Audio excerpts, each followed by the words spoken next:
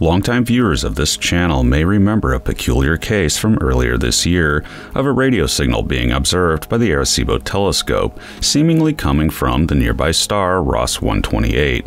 That particular signal is thought to have been interference from a satellite in orbit of Earth, and it likely was, but that particular story is not so clean cut. More on that in a minute. But today, Ross 128 entered the news cycle again for a completely different reason. ESO researchers at the La Silla Observatory in Chile have found evidence of an Earth sized planet orbiting the star with a period of 9.9 days. This could yield temperatures on this planet comparable to Earth.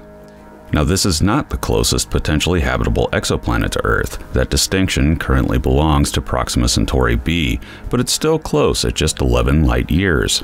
I stress currently because Ross 128 is moving towards us and will become the closest known exoplanet to Earth in just under 80,000 years. If we're still around, it could be a good target for colonization if someone isn't already there which is possible so far as we know.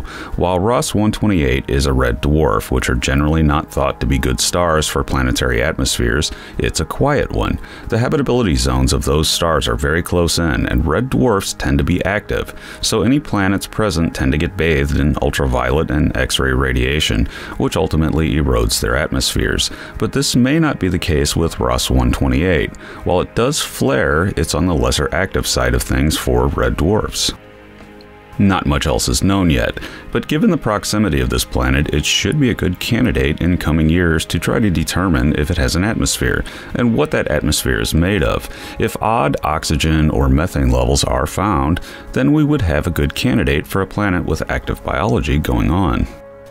While it's not yet clear whether this planet is actually within the habitable zone of the star or could support liquid water on the surface, we'll no doubt find out more as this planet's circumstances make it one of the most intriguing currently known exoplanets to have surfaced, easily on level with Proxima b or the TRAPPIST 1 exoplanets.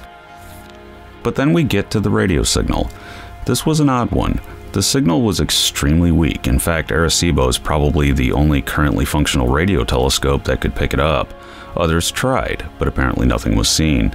This signal wasn't like what SETI usually looks for in radio. They tend to prefer the 1420 MHz hydrogen line, looking for deliberate attempts by aliens at communicating. Instead, this signal was in the C band, which is right where human made satellites like to transmit. That naturally makes the signal suspect. After all, if you have a radio telescope pointed up and a bunch of satellites pointed down blasting out the frequencies you're looking at, the likelihood is very high of interference. So I would not put too much stock in this one, but the signal also showed evidence of what were termed dispersion-like features.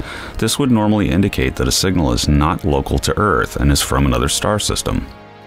Follow up observations were made, but as far as I know, not a lot was said other than it was most likely interference from satellites.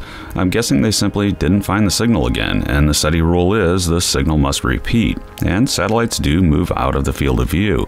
Or perhaps they identified the satellite, but I couldn't find much on that, so if anyone has any other updates on this, post them in the comments below. Thanks for listening. I am futurist and science fiction author John Michael Godier, currently wondering about another SETI message we might not want to receive. It might be, Why haven't you returned our calls? And alien contact signals never repeat in a predictable fashion. I hope they don't get fed up and fire the death beam, and be sure to check out my books at your favorite online book retailer and subscribe to my channel for regular in depth explorations into the interesting, weird, and unknown aspects of this amazing universe in which we live.